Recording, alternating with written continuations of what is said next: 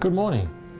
Today's reading comes from Philippians chapter 4, verses 6 to 7. Do not worry about anything, but in everything, by prayer and supplication, with thanksgiving, let your requests be known to God. And the peace of God, which surpasses all understanding, will guard your hearts and your minds in Christ Jesus. Last summer, when my family and I were cooling off at the swimming pool, I tried to teach my young son how to float on top of the water.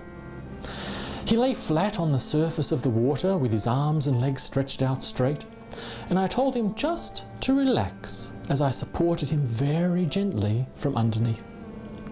Then, slowly, slowly, I would take my hands away and leave him try to float on the surface by himself. But each time I would take my hands away, oh, he would stiffen up, panic a little bit, and then try to lift his head higher out of the water, and this would just make him sink even quicker than before.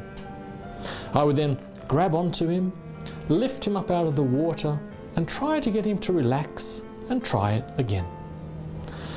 But it's so hard for us to relax. It's so hard for us to let go of control.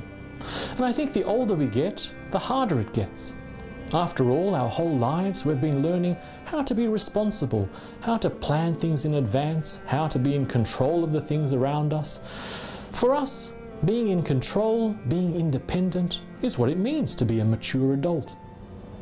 But there are so many things in life we simply can't control, no matter how hard we try.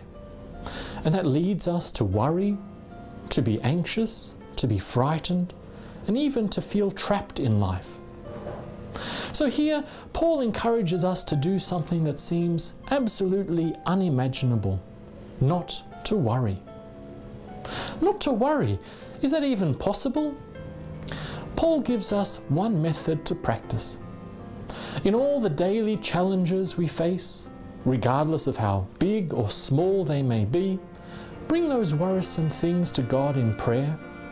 Practice, practice handing them over to God in thanksgiving being thankful because we know that God is there to look out for us. We can practice this, if we can manage this, to let go, to stretch out, to allow God to support us. If we can do this, then the result is amazing. An incredible peace as we float gently along, carried along by God's love.